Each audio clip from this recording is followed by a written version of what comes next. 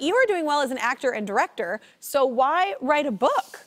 Did you always want to write a book? No, actually, I, I tried to get out of this book a few times. Um, I'm, I, I, the irony is, I wrote a book called Man Enough, yet I think don't feel man enough to have written it. And for me, the book is a, it's undefining masculinity. It's it's it's taking men out of this constricting box that doesn't just hurt the women and gender nonconforming and trans people, um, but also we hurt ourselves. And I didn't realize how much I was suffering.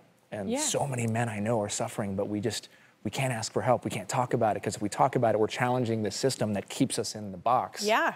And and we're hurting ourselves. We're walking around miserable and unhappy, even though we're putting on a face that we are. So, a book was it was kind of like a 2.0 of the TED Talk. It was a it was a way to put everything on the page, and it was also really healing for me. And it came out because I really believe that the only way that we can heal is if we can share our stories, so that other mm-hmm. people can find their own. And a lot of us men are not comfortable talking about these things. And, Everything. and, and it's it's a shame because it, you're missing out on all those extra you know layers of the onion with Yeah. men as well, and they're missing out on it. I, Yeah. I heard your wife had a suggestion. This is amazing. I heard your wife had a suggestion. I, know where you- I think I know where you're going After finishing the book, she read the book, and what was the suggestion? Tell everyone. It was funny. It was the first. It was the first. It was the end. It was the.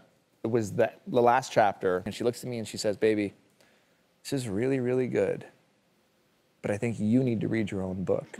oh my God, that's some real talk. And, and the thing is, is it's true. And I Yeah. wrote this book not as an expert, but as somebody who is in it. I'm in the Yeah. fire. I'm I'm under construction. yeah. That's the point. And and she reminded me that I'm like I need to go back and reread Mm-hmm. a lot of the chapters, especially the chapters where I'm reminding other people that they are enough. Yeah. You are enough because I struggle with my enoughness every single day. Yeah. But I put on my armor and I'm not allowed to express it.